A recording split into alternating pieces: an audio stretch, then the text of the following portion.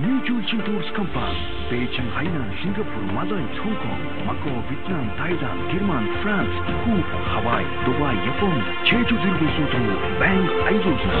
Монголын аялал жуулчлалын тэргүүлэгч компани New Julchin Tours